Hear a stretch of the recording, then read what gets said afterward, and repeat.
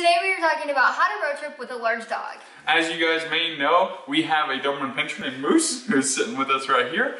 And he is a big boy, 105 pounds. And he's traveled with us to the lower 48. And we have compiled a list of things that we absolutely need if we're gonna take him with us. Let's go.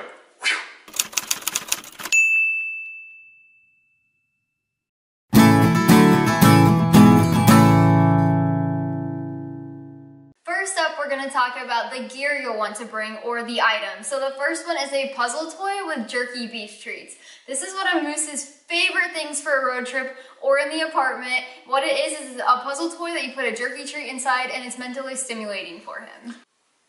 Oh, buddy, are you excited? Say hi. Say hi. yes, good boy. And we also love Kong Extreme toys. They're the black toys that you'll see. Um, they are really good for our tough chewers. Moose is exceptional at tearing apart his toys really quickly, and this is one this is one like brand that we love to you know let him just chew on. Yeah. The next is a slow feeder bowl. This is kind of like a puzzle that you put food in. Um, it's made for dogs and it just helps them use their minds. So when you're traveling a long time, um, it just helps them get their brain exercised. Next on the list is a no spill water dish. We love this so much. Moose is the messiest water drinker ever. Uh, whenever he gets a drink out of a regular bowl, he pulls his head up and water is everywhere. With this bowl that we have, he drinks and drinks and drinks and drinks and it all stays in the bowl. And we love that, especially when we're traveling on the road, whatever. It's nice to like have no water all over the place. Yeah.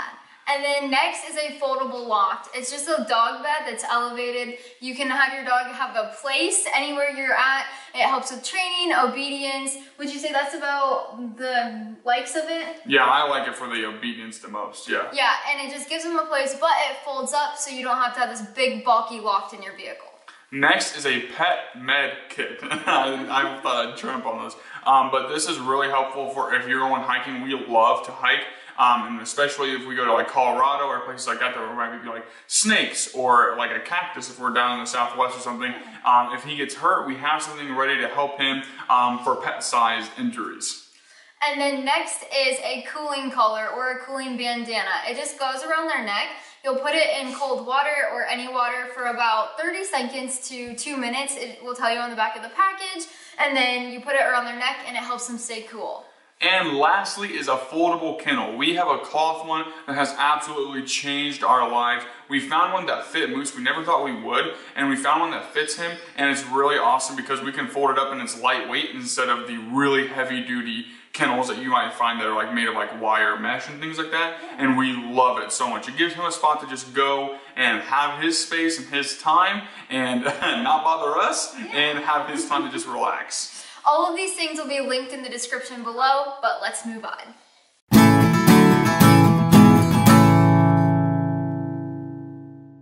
Next is how do you exercise a big dog? Obviously, especially for us when we're in a van, it's not. He's being a ham. It's not super easy to exercise a dog Moose's size in 60 square feet. Sure, he can get the mental stimulation with his puzzle toys and things like that. What are you doing, man? but uh, when it comes time to run and play and all that stuff, he doesn't really have a great option. So what we like to do is we'll stop at rest stops. We have a 50 foot leash for him. You can get even 30 feet or even 15 if your dog's like really short and you don't really need it to go all over the place. And you can just, we just let him run around. We let him sniff. We let him play with toys there and things like that. That really helps him. We also love just going to like city parks and things like that. Um, there, as long as you're not right beside a road or things like that, we'll let Moose also off uh, or out with a leash on and let him just kind of run around and play.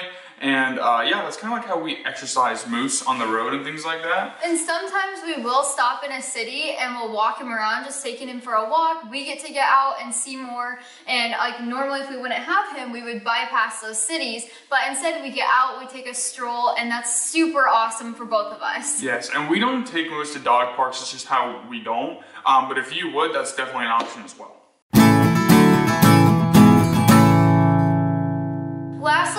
Talk about resources to help you find pet-friendly trails, destinations, and even places to go eat. Our favorite is Bring Fido. It's a free app on the App Store or on any store that you get your apps.